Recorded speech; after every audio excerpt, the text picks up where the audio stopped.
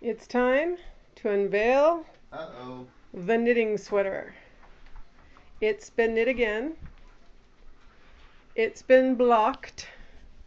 You can put it on over your other sweater. Yeah. I would like to point out that it double is sweater. right. It's July 25th, Mm-hmm. Twenty yeah fifth. and Aspen's wearing polar fleece pants, Hey, it And a was cold sweater. yesterday. and now he's putting a sweater over top of it. What do you Arms think? Are long enough. Long enough arms? Mm-hmm. Body seems long enough. Pockets on Oh. the front. Pockets on the front? Hands seem to fit into it. Mm-hmm. Nice. I think it's good. Could you go out in public wearing that? Yeah.